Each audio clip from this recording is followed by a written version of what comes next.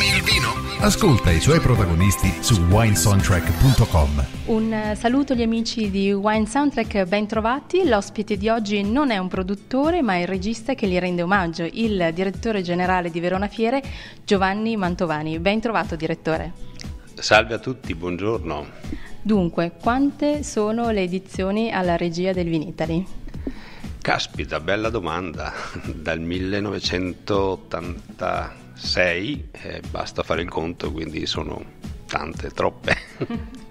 Quali sono i numeri oggi del Vinitali? Sono numeri molto belli perché parliamo di oltre 4.500 espositori, eh, i visitatori sono oltre 130.000, ma soprattutto mi pare molto importante il fatto che abbiamo quasi 50.000 buyer che provengono da tutto il mondo e credo che questo sia un po' la chiave del successo di Vinitali punto di osservazione privilegiato eh, proprio di eh, una delle più coinvolgenti dinamiche realtà del settore primario. Io ho letto eh, che il 22 e 23 settembre del 1967 erano due gli stand presenti alle giornate del vino, quindi quella è la data, diciamo, il primo vagito del, del Vinitali. E quindi quasi mezzo secolo di grande successo e di storie. Quali sono eh, diciamo, le annate migliori che lei ricorda?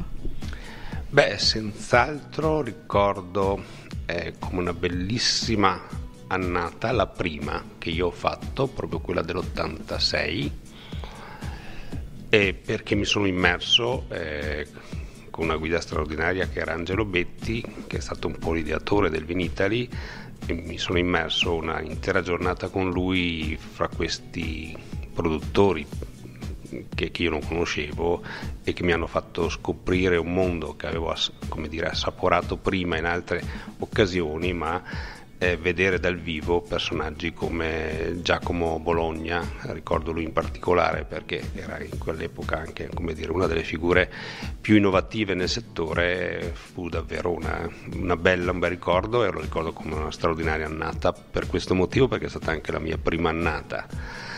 Direi poi assolutamente il Vinitali del cinquantesimo, è stato un Vinitali che ha segnato anche un cambio di passo nell'organizzazione della manifestazione, ci eravamo dati questo obiettivo di rendere il Vinitali più business oriented, come si usa dire, eh, abbiamo aperto la stagione del Vinitali in the City, quindi questa eh, capacità di creare due percorsi, uno per eh, i produttori, per i buyer, per gli interlocutori eh, del trade sulla manifestazione Vinitali e Vintage the City dedicata al consumer, quindi lì è stato come dire anche la, un Vinitali particolare per la formula che si è creata, molto nuova, molto innovativa e che ha raggiunto l'obiettivo che volevamo raggiungere, che era quello di eh, considerare queste due platee in maniera differenziata e corretta.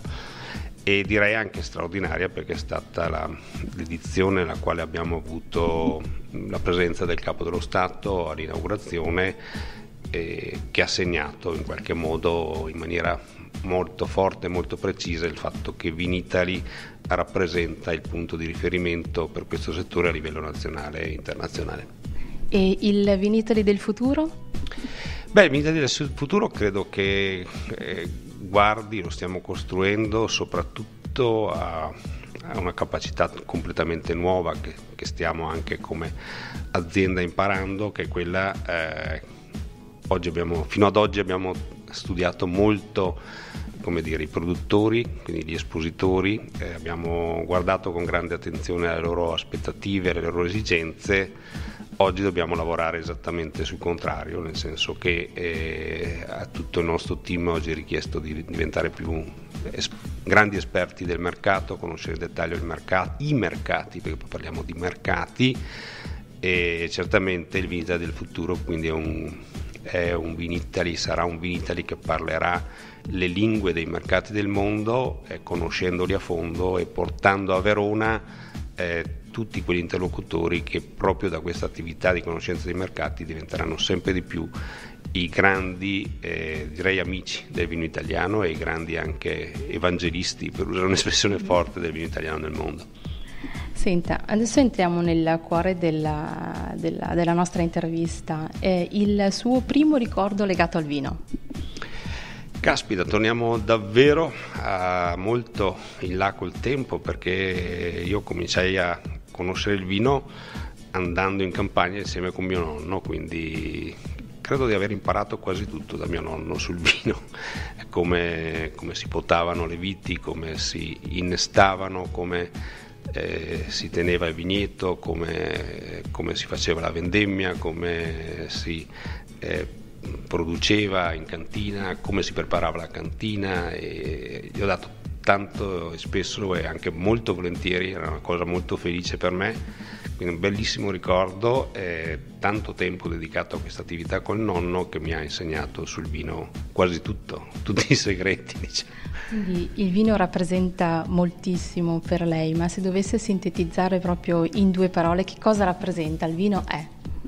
Beh, il vino è un pezzo fondamentale della cultura di noi italiani e diciamo che per la mia esperienza quando io mi siedo a tavola c'è, c'è l'acqua e c'è il vino, sono due elementi quasi essenziali della... E non vanno mai mescolati? Ma... Tendenzialmente non vanno mai mescolati, qualcuno li mescola però tendenzialmente non andrebbero mescolati via. Il termine del vocabolario enologico che l'affascina di più?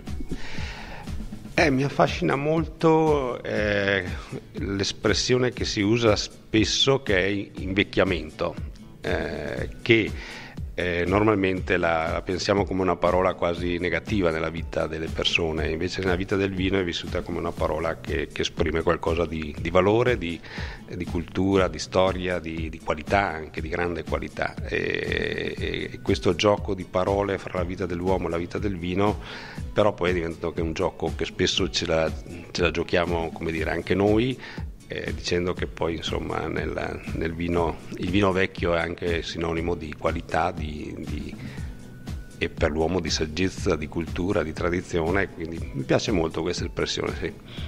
L'ultimo viaggio che ha fatto e il vino che ha bevuto? L'ultimo viaggio ero a Parigi, quindi ero di là delle Alpi, come si usa dire, dai cugini e ho bevuto un vino, eh, uno Chardonnay della Ronne, quindi sono stato anche contento di assaggiare questo vino di una regione che non conoscevo affatto, che è poco conosciuta ancora nel mondo e che secondo me sarà una delle regioni invece emergenti per il futuro. Un pregio e un difetto del suo lavoro? Il pregio straordinario che offre un'opportunità unica di conoscere persone, soprattutto persone, si conoscono tantissime persone, imprenditori fantastici, eh, comunicatori fantastici mh, mm, a livello nazionale, internazionale, è un mondo di, di relazioni che veramente danno, danno tanto. Eh, il difetto di questo lavoro è che è talmente avvolgente che rischia di diventare un po' come dire onnicomprensivo e quindi di lasciare poco spazio poi alla vita personale è quasi una battaglia. è, un, è un lavoro molto affascinante, quindi i lavori affascinanti hanno questo rischio di, di, essere assorbenti. Sì. E quando eh, ci sono questi piccoli ritagli di tempo, come spende il suo tempo libero? Nonostante viaggi molto, mi piace ancora viaggiare e quando, quindi quando ho del tempo libero cerco un po' di di dedicare del tempo a conoscere il paese poi, nel quale capita purtroppo di viaggiare anche meno perché eh, un po' l'Italia è tutta da scoprire ancora e ogni volta che faccio un viaggio vedo che è una realtà quasi grande come il mondo da scoprire, nel senso che più, ci sono più cose in Italia da scoprire che non in tutto il mondo, questa è una cosa che mi sorprende sempre, quindi mi piace ancora viaggiare, mi piace conoscere anche approfittare di un viaggio per conoscere momenti di cultura del nostro paese, la gastronomia, perché no, e qualche vino certamente, anche se venite lì ce li porta tutti in casa. Poi mi piace leggere, leggo per quanto posso il più possibile, eh, sia libri di storia, sono appassionato di storia, e qualche libro di cultura, di, anche qualche bel romanzo, perché no. E poi dedico parecchio tempo alla bicicletta, che è un po' la mia passione come dire, più strutturata e almeno una, una giornata alla settimana cerco di lasciarla allo sport e quindi proprio alla bicicletta, che è anche un'occasione per girare il nostro territorio, per vedere in un modo diverso spazi e orizzonti che spesso scorriamo come un film troppo rapido. Ha mai pensato di fare il produttore di vino e se sì dove? Ma in realtà ci ho pensato più volte in tante fasi della vita e l'idea che mi aveva affascinato di più, eh, perché è un territorio che mi piace molto, è stata la Franciacorta, eh, poi non, non si è fatto e quindi è andata bene così. Una figura che l'ha ispirata e che tuttora è per lei un riferimento importante nel suo lavoro. Beh, nel mio lavoro eh, direi che sono state parecchie le figure che mi hanno eh, ispirato. Ho, ho, citato prima Angelo Betti per la capacità creativa e l'effervescenza nel generare nuove idee. Potrei citare anche di converso Sergio Masiero che è stato meno conosciuto, però è stato certamente un protagonista della Fiera di Verona eh, che aveva la capacità opposta, cioè quella di dare grande ordine, grande organizzazione, grande struttura a quello che veniva fatto.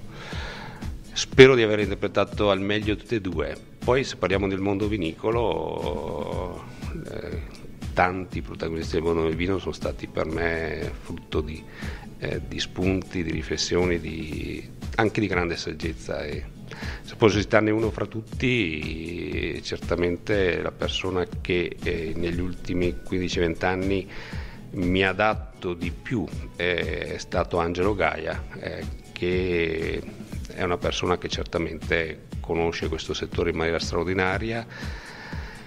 È un piemontese, quindi con eh, i pregi e i difetti dei piemontesi che pensano di essere bravissimi, ma poi anche loro hanno i loro limiti e li conosciamo, però sono poi persone straordinarie e vere che dicono la verità in maniera molto spesso rapida e anche cruda per quello che è. Mm-hmm. Il suo mantra? Il mio mantra, eh, direi che è un mantra un po' strano, che quando ti dicono che non c'è più tempo è meglio aspettare ancora un attimo e quindi per avere un attimo ancora in più di, eh, di riflessione ed è una cosa che ho imparato in tutta la mia vita quando tutti ti stringono per dire che bisogna chiudere, bisogna definire, bisogna... Eh, eh, non c'è più tempo, è meglio prenderne ancora un po' e quel tempo in più ti aiuta a capire che magari c'era anche una prospettiva diversa. È quello che forse ho sentito qualche volta dire anche dai grandi vignaioli, no? che non bisogna avere fretta di vendemmiare, ad esempio. Beh, se guardiamo la vendemmia di quest'anno ne è un esempio incredibile, eh, credo che chi ha saputo come dire, aver pazienza avrà raccolto certamente di più di chi ha avuto un po' fretta e anche magari un po' timore che, che fosse finito, finito, il tempo e che l'autunno fosse talmente tragico da, da peggiorare una stagione complicata. A proposito uh, di, uh, di, vendemmia, quindi di, di, annata, cambiamento climatico, tema attualissimo e molto dibattuto, qual è il suo pensiero in merito? È che dobbiamo farci i conti, assolutamente, dovranno farsi i conti i produttori. E vedo e leggo eh, che si stanno attrezzando, si stanno attrezzando tanto eh, sia nella selezione dei vitigni sia eh, utilizzando nuove tecniche di impianto perché sarà una chiave. Dobbiamo avere una grande attenzione all'ambiente. Ho visto aziende che hanno ricreato eh, come dire, ambienti dove l'ecosistema è stato in qualche modo ripristinato, rigenerato e questo aiuta perché avere un grande spazio eh, a vigneto dove vengono introdotte anche però altre, altre, altre culture, eh, altri alberi, altre eh, culture dove viene reintrodotta l'acqua, dove viene reintrodotta eh, un, sì, ecco, parlare proprio di un ecosistema equilibrato certamente aiuta a gestire meglio anche le situazioni di, di estreme condizioni che, che, spesso il clima oggi ci pone davanti. Tanto dovrà essere fatto nel lavoro in vigna, quindi il lavoro in vigna diventerà molto più importante probabilmente del, di quanto pensiamo. Il Made in Italy è associato a valori come bellezza, creatività, lusso e cultura. Dove si colloca il vino? Beh, certamente creatività. Eh, il vino italiano ha saputo partire da un grande disastro che è stato un'epoca che tutti ricordiamo tragicamente, eh, di, di, un grande default eh, d'immagine e da lì siamo ripartiti con una forte creatività a rigenerare il vino italiano. Certamente poi c'è eh, una forte relazione con il tema della cultura. Eh, credo che oggi il vino italiano rappresenti la cultura italiana in modo straordinario e siamo diventati anche un sinonimo di qualità. Eh, al mondo credo che il vino italiano abbia raggiunto una rispettabilità e un rispetto assoluto da parte di tutto dei mercati, di, di chi valuta i vini, eh, delle grandi riviste che danno i rating, insomma abbiamo fatto un bel percorso. Credo che queste siano un po' le tre eh, caratteristiche del Made in Italy che il vino italiano ha saputo la bellezza è insita nel, nel fatto che ha cambiato tanti territori, li ha resi territori molto più belli e questo va scritto anche nella storia del vino.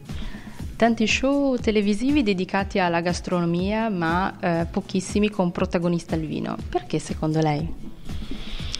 Eh, eh, temo che ci sia un problema, come dire, che i protagonisti del vino sono talmente tanti ma veramente sono talmente tanti eh, che ogni volta che si pone il problema di, di sedere attorno a un tavolo qualcuno per fare anche per fare un talk show, per fare una discussione, per fare, e quindi immagino ancora più complicato farne una, una, uno spettacolo, eh, diventa difficilissimo capire chi sedere a quel tavolo, perché eh, ne contiamo veramente tanti, di eccellenti, di bravi, e sembra sempre di fare un torto a qualcuno. E poi forse c'è anche una tendenza che è tipica del produttore vinicolo eh, che ha imparato a produrre bene, ha imparato a fare grande qualità, ancora poco ha imparato a comunicare e questo è forse la ragione un po' più vera, nel senso che eh, c'è un nodo che riguarda la capacità di comunicare che non abbiamo ancora approfondito a sufficienza. Ci sono invece nella storia dei film molto belli dedicati al vino e quale le viene in mente? Beh, sicuramente quello che abbiamo premiato a Vinitali come, eh, come un, un, emblema, della, un testimonial del vino italiano, del vino scusate, a livello internazionale è Sideways, che è stato un film di successo e anche un bel testimonial della storia del vino non in Italia in questo caso, però eh, certamente è un emblema di, di, come il vino sia anche dentro la struttura della, della storia delle persone. Il suo rapporto con lo smartphone, odio o amore? Ah no, io sono un appassionato di smartphone, quindi non c'è dubbio. Sono, sono un grande utilizzatore dello smartphone. E il rapporto invece con i social media? I social mi piacciono molto, cerco di utilizzarli per quanto mi è possibile, sono una fonte anche di, di conoscenza, di apprendimento, di... trovo molto interessanti, ecco, al di là di tutto quello che si può dire e eh, di tutti i problemi che poi sono connessi a questo modo di comunicare, però lo trovo un modo di comunicare fantastico che, che crescerà ancora di più. Un piatto della tradizione del territorio a cui è legato e l'abbinamento con un vino dovendo scegliere fra tanti piatti, quello che mi piace di più in assoluto, anche perché eh, è una cosa sulla quale mi cimento anche personalmente, è il risotto con gli asparagi, asparagi rigorosamente di Verona, della Mambrotta, quindi la denominazione protetta, asparagi bianchi e il vino a questo punto non può che essere un soave, via. Il vino quindi per lei è bianco, rosso o rosé? Eh, non, non, avrei dubbi che poi il vino in realtà è bianco, rosso, rosé e anche tutte, tante altre sfumature che sono meno definibili e sono tutte molto belle. Chiude un accordo importantissimo. Con quale bottiglia festeggia? Un grande metodo classico italiano, senza dubbio. Una bottiglia invece per brindare il passato, una per il presente e una per il futuro. Beh, con, per brindare al passato andrei a riscoprire qualche, anche in cantina da me, qualche vecchia annata eh, che, che, però è ancora un'annata che esprime tanto, che esprime cultura, che esprime storia, che esprime anche un gusto perché poi un vino invecchiato tanto rischia di essere anche più buono di quelli giovani. Presente mi viene in mente prenderei senz'altro una, un, un, vino fresco dell'Etna, per esempio, eh, che, eh, che, ci dà questa brillantezza, questa novità anche, quindi presente è sempre una sorpresa e quindi eh, lo accettiamo per questa eh, capacità di essere una sorpresa. E il futuro non può che essere una bollicina ancora, è una bollicina e lasciamo tutti scegliere la propria, la più, quella che amano di più, eh, ma la bollicina esprime questa appunto, effervescenza che è tipica del futuro, tutti dal futuro ci aspettiamo qualcosa di più effervescente. Il suo attore, attrice preferita? Ah, senza dubbio Mary Streep. Il miglior consiglio che si sente di darci? Eh, il miglior consiglio è un po' la chiave di quello che ho detto prima, eh, non avere troppa fretta, eh, c'è sempre un passo giusto per fare le scelte più giuste, aspettare anche un attimo in più, io l'ho visto nella mia vita che aspettare un attimo in più aiuta. Io adesso direttore le devo fare una domanda un po' impertinente. Quanti calici di vino sono necessari per farla ubriacare? Eh, non li ho mai contati. Esiste un rimedio invece per superare una sbornia, il rimedio definitivo? No, non c'è, non c'è. Tutti dicono che bisogna bere tanta acqua, qualcuno dice che bisogna, alla fine bisogna prenderla per quello che è e lasciare che, che, che il fisico si riprenda e scontare che quel giorno lì sarà una giornata dura. Bene, siamo quasi giunti al, termine di questa, di questa, nostra chiacchierata e le chiedo se la nostra intervista le è piaciuta. Molto, molto divertente e molto intensa anche. Esprima un voto da 1 a 10, anzi no, da 1 a 100 come nei punteggi delle guide di settore. Beh, direi che un buon 98 lo diamo. Ah, è altissimo. È stato sincero? Assolutamente sì. Allora, prima di salutarci, chiudiamo con un nostro gioco. Io uh, le dico il nome di un personaggio famoso e lei mi dice il vino a cui lo abbinerebbe. In realtà, uh, sfogliando il, i 50 anni, il libro dei 50 anni veniteri, ho visto una carrellata di celebrità, personaggi che sono transitati, no? Ad esempio, Sergio Mattarella. Certo, la visita del Presidente della Repubblica è stato un fatto straordinario. E che vino gli abbinerei a Mattarella? Mi viene in mente un grillo, un grillo di Mozia. Un grillo di Mozia e magari Mattarella in questo momento apprezzerebbe anche molto. Papa Giovanni Paolo II. Questa è stata la visita più intensa e più emozionante che abbiamo avuto alla Fiera di Verona. E ne ho un ricordo straordinario, personalmente straordinario è difficile associare una figura così grande ad un vino, cioè mi viene in mente solo un, un grandissimo Barolo. È un personaggio che abbiamo visto con una chitarra in mano e con l'altra, anzi probabilmente non si può, ma con un calice ed è Sting. Beh, Sting associamolo ai vini che lui cura personalmente e che stanno anche riscuotendo un certo successo sul, sul, mercato e soprattutto nei reti internazionali, i suoi vini toscani, i suoi rossi toscani direi che sono ben abbinati a, a lui e a sua moglie che poi è un pezzo importante della storia vinicola della coppia. Io ho saputo che lei è un fan della Juve, quindi Cristiano Ronaldo. Beh, che io sia un fan della Juve eh, non è tanto segreto, quindi eh, Cristiano Ronaldo, ma Cristiano Ronaldo eh, non possiamo, possiamo forse abbinarlo a quei bianchi eh, intensi e maturi e così anche carichi del, del, della, della, forza e del colore del mare che crescono e che, che emergono dalla costiera malfitana. Bellissimo. E chiudiamo con uh, la sua attrice preferita, Meryl Streep. Meryl Streep assolutamente la abbinerei a un, uh, a un grande spumante italiano, a un metodo classico millesimato.